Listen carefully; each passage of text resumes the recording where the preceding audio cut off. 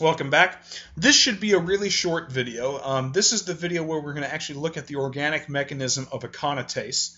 And after this video, we'll look at aconitase's function in a little bit more detail. Hi, welcome back to the playlist on the TCA cycle. What we're going to do in this video is we're going to focus on another small segment of the TCA cycle. Specifically, it's this, oops, let me get my tool, it's this segment right here.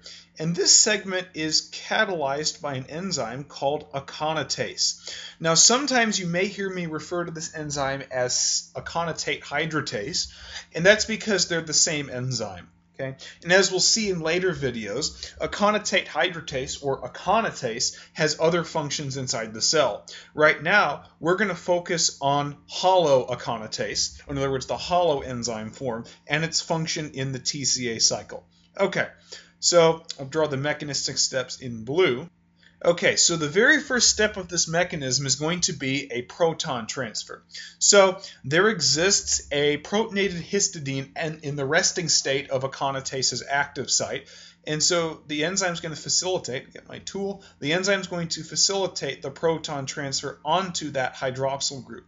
And what that effectively is going to do is that's going to make this protonated water group, okay? That's a very good leaving group, okay? And then what's going to happen is there's also a deprotonated serine residue in the active site. Okay, and there's a lone pair on this serine or this alkoxide residue, and it's going to deprotonate right here. And remember your basic steps of an elimination reaction. Remember that in, in the case of a concerted step like this, you have a proton transfer followed by loss of a leaving group. This particular mechanism has has uh, has a characteristic being a bimolecular elimination, meaning it's an E2, meaning that the proton transfer and the loss of the leaving group are in the same step. It's a concerted process. Okay, but also notice one other thing, and we're going to have a whole video on this after this video. But notice something our leaving group, our water group, is on a on a dash, right?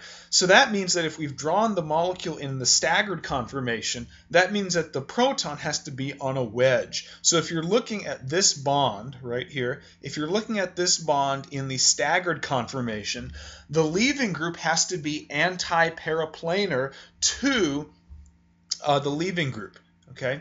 At least the proton has to be anti-periplanar to the leaving group. Okay. Notice that we also have a proton right here, but that one is not anti-periplanar, so that's not the one that gets abstracted. But anyways, we'll have a whole video on that in excruciating detail. Okay, so the serine alkoxide deprotonates here, and you generate the alkene with the loss of the leaving group, right? And so in this step of the mechanism, you end up losing H2O you end up losing water, and in the process, you generate this intermediate of aconitase called cis, called cis aconitate. Okay, and the reason it's called cis aconitate is because number one, it's aconitate, but also because these two carboxyl groups happen to be cis to each other. In fact, if you were to label the double bond with absolute configuration, it would be Z because the two highest priority groups, which both happen to be the carboxyl groups, are on the same side of the double bond. Therefore, it's a Z double bond, and the carboxyl groups are cis to each other. Therefore, it's cis aconitate. You could potentially also have a trans aconitate, but that particular intermediate is not observed by this enzyme. Then what's going to happen is the histidine is going to reprotonate itself and it's going to get the proton from water. So water is allowed into the active site. In fact, it's the same water that got eliminated first. And when when the water gets deprotonated, the effective hydroxide is going to attack this carbon right there, the carbon that I'm highlighting in blue, and that's going to force this pi bond to come out and abstract the proton from the protonated serine both regenerating the serine alkoxide and the protonated histidine. Now I want to point your attention to one thing in this mechanism that's also pretty important.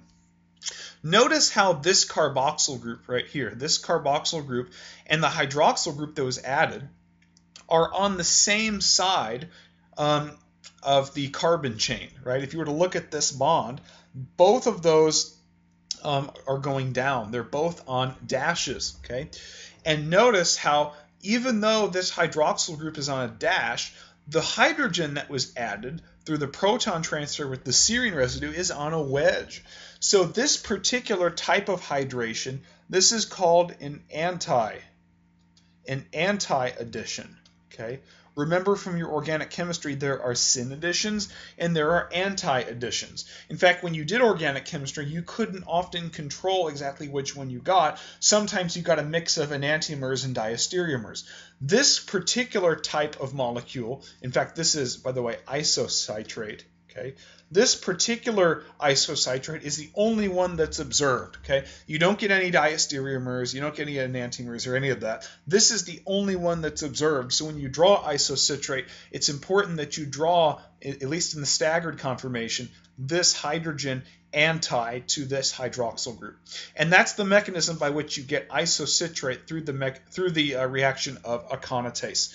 So I hope this video gave you a little bit of intuition on aconitase. In the next video, we're going to go into a little more, more detail on the mechanism. And after that, we're going to look at aconitase's functions inside the cell. See you soon.